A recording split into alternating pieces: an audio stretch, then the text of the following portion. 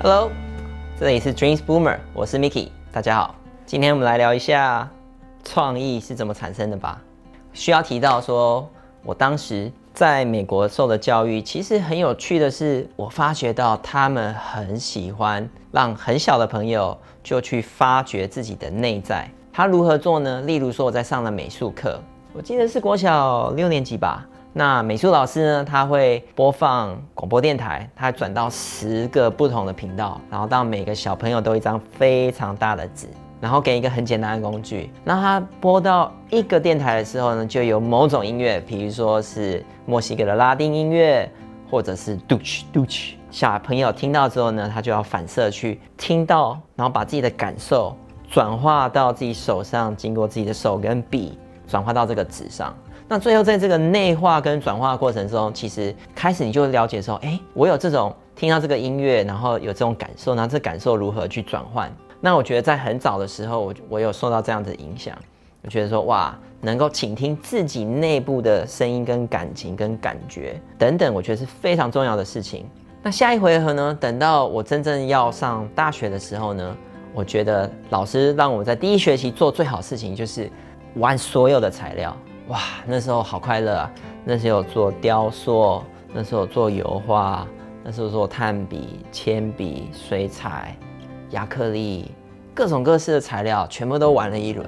那我觉得在那个过程当中呢，我自己能够了解到，OK，水彩我做了，嗯，没有那么喜欢它。哎，Gouache 这个材料我做了，嗯，没那么喜欢它。哎，亚克力我喜欢，哎，油画我喜欢。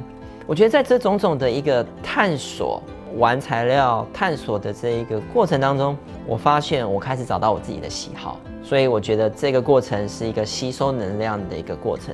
等到下一回合之后呢，你需要去大量的练习、练习再练习。有人说一万个小时，一万个小时让你变成专家是没有错。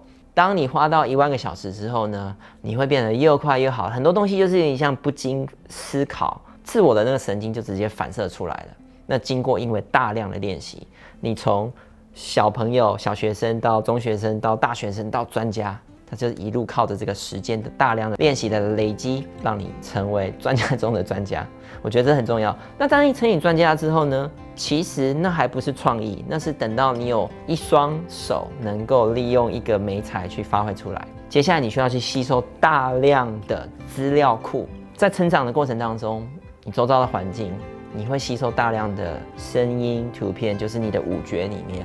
那以我而来而言来讲，之前我是很喜欢画画的。比如说，我们背着油画的彩，然后走到一个爬山到山上，然后在一个很棒的山的一个景观，然后放下来，然后去想办法记录我们看到那个山、那个云、那个夕阳，那是一种方式。但是你的眼睛跟你的观感会记录这一切。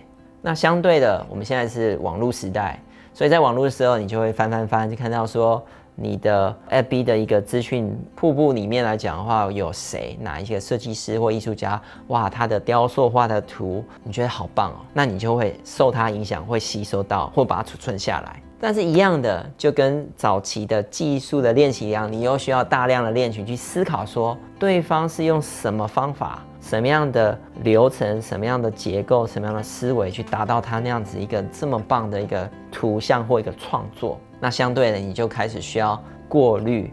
当你自己也要创作一件事情的时候，你的创意力怎么哪里来呢？就是把你这么多年累积的技术练习、看到的资源、知识、图片。全部都把它写出来之后，创造出来之后，一一的把它丢掉，就很像是你的脑袋其实已经装满了非常多，它已经满满满满满到一定的状况了，你需要把它倒掉，清空之后，你的脑袋就有点像是小 baby 的那个状况。等到那个时候，你会自然的让你脑部潜在的意识去重新组合，你重新看到了这些图片、创意等等的出来之后，就是一个全新的创意那你会。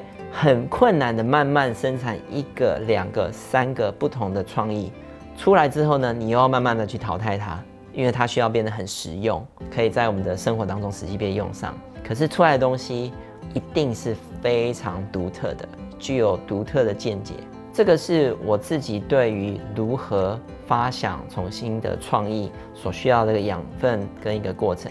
所以呢，我建议大家，如果在普通的时候呢，多多去各种场所、活动、会场，多听、多观赏一些东西，去刺激自己的五感，多吸收更多的能量。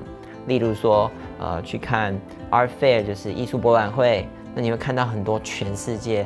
不同的专家所画的雕塑啊，或者是油画作品啊，或者是数位头像的互动作品啊，我觉得看一些这样子新形态的东西，有助于刺激你的想象力，扩大你的已知的这个能量的范围。那你出来的东西，我觉得会提高很多的新的创意的点的融入。